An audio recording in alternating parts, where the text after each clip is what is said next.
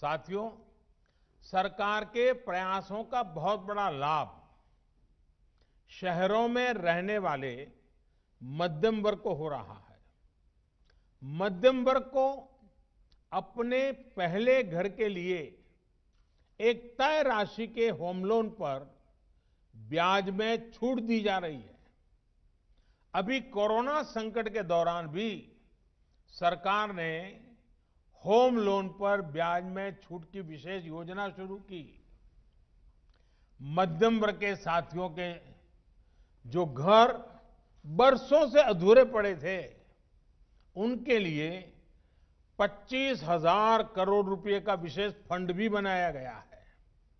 साथियों, इन सारे फैसलों के साथ ही लोगों के पास अब रेरा जैसा कानून की शक्ति भी है।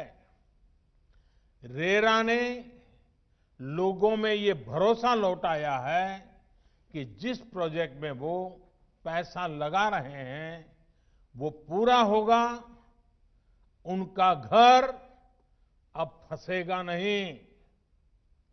आज देश में लगभग साठ हज़ार रियल एस्टेट प्रोजेक्ट्स रेरा के तहत रजिस्टर्ड है।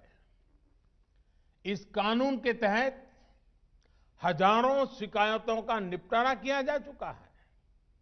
यानी हज़ारों परिवारों को उनका घर मिलने में मदद मिली है।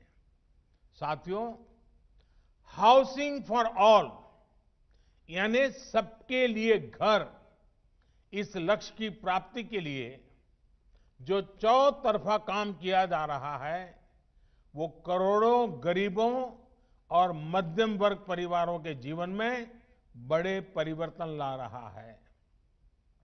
ये घर गरीबों के आत्मविश्वास को बढ़ा रहे हैं। ये घर देश के युवाओं के सामर्थ्य को बढ़ा रहे हैं। इन घरों की चाबी से कई द्वार एक साथ खुल रहे हैं। जब किसी को घर की चाबी मिलती है ना, तब वो दरवाज़ा या चार दीवार इतना तक नहीं होता है। जब घर की चाबी हाथ आती है तो एक सम्मानपूर्ण जीवन का द्वार खुल जाता है। एक सुरक्षित भविष्य का द्वार खुलता है। जब घर के मकान के मालिकी का हक आ जाता है चाबी मिलती है, तब बचत का भी द्वार खुलता है। अपने जीवन के विस्तार का द्वार खुलता है। पाँच पच्चीस लोगों बीच में, समाज में, ज्ञाति में, बिरादरी में एक नई पहचान का द्वार खुल जाता है। एक सम्मान का भाव लौट आता है। आत्मविश्वास पनपता है।